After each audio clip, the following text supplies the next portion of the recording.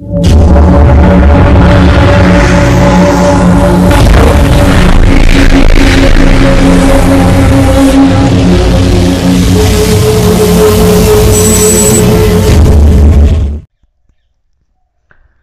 को जय हिंद, मैं नितिन निकोड़े स्वागत करता हूँ आप सभी का आपके अपने YouTube channel mission N C the way of success में।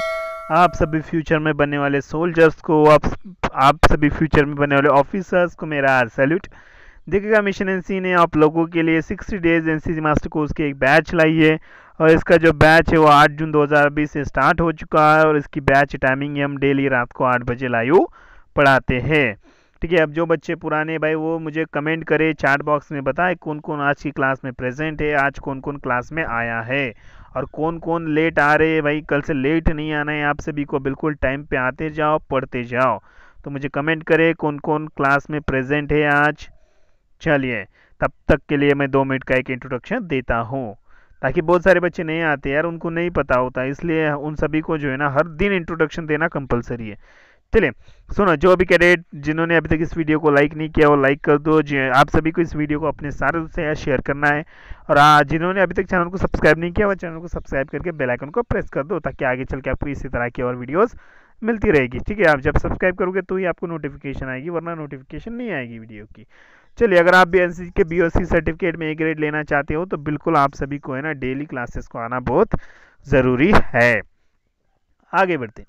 देखिए स्क्रीन के ऊपर आपकी एक वर्दी दिखाई दे रही है, हर किसी का एक ड्रीम होता है, सपना होता है, इस वर्दी को पाना। अगर आप एक एनसीसी कैडेट हो तो बिल्कुल आप इस वर्दी को पा सकते हो, उसके लिए दो चीज़ें आपके पास होना बहुत ज़रूरी है। एक तो आपके पास एनसीसी का सी सर्टिफिकेट होना चाहिए, उसके बाद रनिंग होना चाहिए। अब ये रनिंग की प्रैक्टिस है, आप डेली सुबह पाँच बजे उठ के रनिंग की प्रैक्टिस करो और आपका जो बी और सी का जो एग्ज़ाम का प्रिपरेशन आप चैनल पे आके कर सकते हो, उसके लिए मैं आपकी हेल्प करूँगा, हमेशा वीडियोस बनाऊँगा, आप सभी को उसको देखना है और आपका बी और सी सर्टिफिकेट का एग्ज़ाम अच्छे ग्रेड से पास करना है।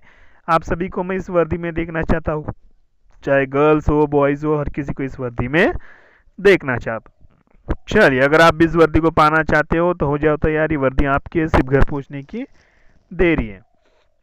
सुनो, जब भी आप मेरे क्लास में आओगे तो सबसे पहले एक पेन और नोटबुक लेके आओ, ठीक है? जो भी मैं पढ़ा रहा हूँ, उसको क्या करना है? आपको आपके नोटबुक में लिखना है, ठीक है? अगर आप नोटबुक में लिखोगे तो आगे चल के उसका बेनिफिट ये होगा आप लोगों को, जब आपका जो पेपर होगा ना, पेपर के समय जब आपको रिविज़न के टाइमिंग में, जब आपको रिविज़न करना होगा ना, रिविज़न के टाइम के समय जो है, आपको ये आपने अगर अभी लिखा है तो ये आपको बहुत हेल्पफुल होगा। तो देखिए, आज का जो हमारा जो डे ओके कितवा डे कौन सा डे आज का? हमारा तो डे वो फोर्टी वा डे ठीक है? फोर्टी वन वा डे अगर आप में से बहुत सारे बच्चे इसको जनवरी, अगस्त, सितंबर, नवंबर, दिसंबर, जनवरी में देख रहे हैं तो अगर आप सभी को अगर पूरी वीडियोस देखना है, ठीक है? पूरी वीडियोस देखना है। इससे पहले कि तो आप मेरे चैनल पे जाओ, उसमें प्लेलिस्ट में जाओ, उसमें सिक्स एजेंसी मास्टर कोर के एक प्लेलिस्ट दिखेगी, उसके ऊपर क्लिक करो, पूरी वीडियोस उसमें आपको मिल जाएगी। ठीक है, आप देख सकते हो उसमें प्लेलिस्ट में। अब ये sixty days N master course में हम क्या करें तो देखिए इसके इसके लिए मैं आप सभी को एक क्वेश्चन दे रहा हूँ। एक क्वेश्चन का आंसर आप सभी को देना है, उसके लिए आपके पास दो मिनट का टाइम होगा। इससे क्या होता है कि आपका जो है टाइम मैनेजमेंट की क्वालिटी आपके अंदर डेवलप होगी। जब आप आपका बी और सी सर्टिफिकेट का एग्ज़ाम देने जाओगे तो आप उस एग्ज़ाम को सही तरह से सॉल्व करके आओगे, क्योंकि आपके पास टाइम मैनेजमेंट आपको पहले से पता होगा। ठीक है?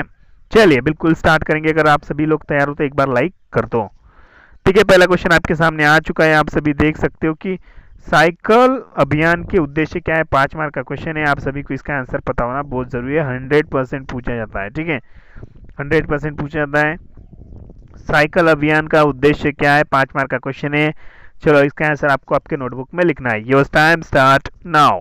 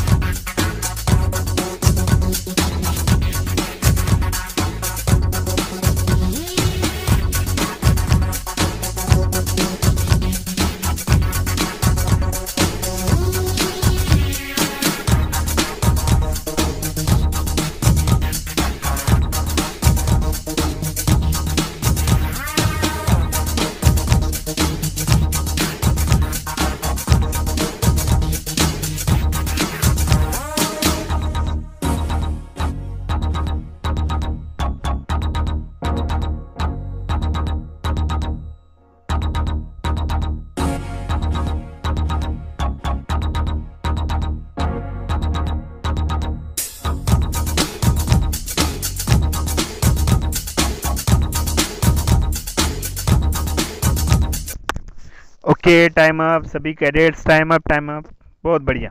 ठीक है, जिन्होंने इसका आंसर आपके नोटबुक में लिखा है, बहुत बढ़िया। जिन्होंने इसका आंसर चैट बॉक्स में दिया है, वो भी बढ़िया। ठीक है, सभी लोग बहुत बढ़िया। एक इंपॉर्टेंट क्वेश्चन है, याद रख लो, पाँच मार्क का क्वेश्चन है। ठीक है साइकिल अभियान का क्या उद्देश्य है? तो देखिए, और इसका आंसर अभी देखेंगे देखेंगे हम। सुनो साइकिल अभियान पहले ये है, क्या तो देखिए, ये एडवेंचर एक्टिविटीज़ में आपको जो है, वो साइकिल अभियान आपको, एक एक्टिविटीज़ के ज़रिए आपको इसको यूज़ करना पड़ता है, ठीक है? ये आपको जो है ना एडवेंचर एक्टिविटीज़ का एक पार्ट है साइकिल अभियान। तो साइकिल अभियान का उद्देश्य क्या है कि, ठीक है? तो इसमें देखो कि धार्मिक स्थलों को देखना, ठीक है? साइकिल अभियान का उद्देश्य क्या होता है? कि अब देखो यार क्या होता है कि आप सब पचास साठ कैडेट होते हैं, ठीक है? पचास साठ कैडेट को साइकिल सभी के पास साइकिल होती है और उन साइकिल चलाते हुए उनको जो है ना पचास किलोमीटर, साठ किलोमीटर, बीस किलोमीटर ऐसा जाना होता है, ठीक है? तो उसमें क्या होते हैं, फिर वो जाते हैं तो उसका उद्देश्य क्या होता है कि धार्मिक स्थलों को देखना, ठीक है? अगर वो जाते हैं तो बिल्कुल साइकिल लेके तो वो कहाँ जाएँगे? तो धार्मिक स्थल देखने को जाएँगे, ठीक है? उसके बाद में ऐतिहासिक एवं पर्यटक स्थलों को देखना, ठीक है? मतलब कि क्या होता है, बिल्कुल आप आपके पास ना गाड़ी है, ना बाइक है, ना कुछ नहीं। आप सिर्फ़ साइकिल से जा रहे हो, सभी आपका एक कैडेट्स का ग्रुप है, आपके पचास साठ कैडेट का। आप उन सभी के साथ जो है, आप धार्मिक स्थल देखने जा रहे हो, ऐतिहासिक एवं पर्यटक स्थल हिस्टोरिकल प्लेसेस देखने जा रहे हो, ठीक है पिकनिक प्लेसेस देखने को जा रहे हो। ठीक है? उसके बाद में कैडेट्स के अंदर आत्मविश्वास बढ़ाना। बिल्कुल यार, कैडेट्स के कैडेट्स के अंदर जो है ना वो आत्मविश्वास बढ़ता है। अब मान लो आप पचास कैडेट हो तो बिल्कुल यार पचास लोग जब आप साइकिल पे जा रहे हो तो बिल्कुल आपके अंदर का जो कॉन्फिडेंस है वो बढ़ेगा ना। क्योंकि आप एक दूसरे के सपोर्ट में होते हो, सभी लोग बातें करते हुए, सभी लोग साइकिल चलाते हुए जाते हो तो क्या होता है? ग्रुप ग्रुप का माहौल बनता है। ठीक है, सभी इसमें तो इसमें क्या होता है, एक आत्मविश्वास सभी का बढ़ता है। जो कैडेट बात भी नहीं करता है, वो ग्रुप में क्या करता है ऑटोमेटिकली बात करना स्टार्ट कर देता है। तो इससे क्या होता है कि उसके अंदर आत्मविश्वास सेल्फ कॉन्फिडेंस का डेवलपमेंट भी होता है सभी के इसमें। चलो, उसके बाद देखो लीडरशिप क्षमता का विकास। बिल्कुल यार, आपके अंदर लीडरशिप क्वालिटी डेवलप होती है। आप सभी लोग मिलके जाते हो तो सभी लोग आपस में बात करते हो, इससे क्या होता है कि एक क्वालिटी डेवलप होती है, यार, एक लीडरशिप की क्वालिटी डेवलप होती है। फिर आप उस कैंप से जब आते हो तो फिर आप, आपके कॉलेज में आप एक लीडर टाइप बनते हो, ठीक है? उससे क्या होता है कि फिर आप, उन चीज़ों को आप सही तरह से समझ लेते हो। आप जो है ना, बिल्कुल आपके अंदर लीडरशिप की क्वालिटी जो है, वो हमेशा डेवलप होती है। ठीक है इसीलिए साइकिल अभियान का एक उद्देश्य है कि आपको एक लीडर बनाना भी साइकिल अभियान का एक उद्देश्य होता है। उसके बाद में भा, भातृत्व तथा जोखिम उठाने की क्षमता का विकास। बिल्कुल देखो यार आपको बहुत दूर जाना है। अब मान लो यार आपने यार स्टार्ट किया है ठीक है? आपने स्टार्ट किया है आपको जाना है सौ किलोमीटर ठीक है? सौ किलोमीटर जाना है साइकिल चलाते हुए, आप ज़ीरो किलोमीटर पे अभी हो तो यहाँ से आप इतना दूर जाओगे सौ किलोमीटर एक दिन में तो बिल्कुल इसमें क्या है, एक जोखिम है। ठीक है इसमें क्या है, रिस्क यार, उतना दूर जाएँगे तो पैर दुखेंगे, ये होगा, वो होगा। ठीक है तो इसमें आप जोखिम भी उठा रहे हो, ठीक है। तो ही तो आप, तब तक आप, तभी तो आप इसको सौ किलोमीटर को पार कर रहे हो, यही एक आपको जो है ना साइकिल अभियान सिखाता है, ठीक है। इसमें क्या होता है कि आप रिस्क लेने के लिए तैयार हो। आप तो अभी ज़ीरो पे हो, आपको जाना है हंड्रेड किलोमीटर, लेकिन तो भी आप सभी को मिल के सभी मिलजुल कर आप क्या करते हो, हंड्रेड किलोमीटर जाते हो। तो इससे क्या होता है, आप जोखिम उठाने की क्षमता भी आपके अंदर, ये क्वालिटी डेवलप होती है और आगे चल के आप, आपके लाइफ में जो है ना, एक रिस्क लेना भी आप पसंद करते हो। ठीक है, यही जो क्वालिटी है आपके अंदर आपको डेवलप कराती है। फिर एक बार ये क्वेश्चन इंपॉर्टेंट है, इसको आपके नोटबुक में लिख लो। धार्मिक स्थलों को देखना, ऐतिहासिक एवं पर्यटक स्थलों को देखना कैडेट्स के अंदर आत्मविश्वास बढ़ाना लीडरशिप क्षमता का विकास करना भातृत्व तथा जोखिम उठाने की क्षमता का विकास करना, ये सब कुछ पॉइंट जो है, वो साइकिल अभियान का उद्देश्य है। इसके बारे में आप सभी को पता होना बहुत ज़रूरी है। तो चलिए आई होप कि आपको वीडियो समझ में आएगा जितने भी बच्चे अभी लाइव देख रहे हैं, बहुत बढ़िया स्वागत है यार उनका। आप इतने देर तक बने हो, ठीक है? बिल्कुल मिलेंगे कल एक नए वीडियो के साथ, नए क्वेश्चन के साथ। ठीक है, जिन्होंने अभी तक चैनल को सब्सक्राइब नहीं किया, वो सब्सक्राइब कर दो। जिन्हें वीडियो वीडियो को लाइक नहीं किया, वो लाइक कर दो। चलो, आपका कीमती समय निकाल कर वीडियो देखने के लिए शुक्रिया। मिलता हूँ दोस्तों अगले वीडियो में। जय हिंद, वंदे मातरम।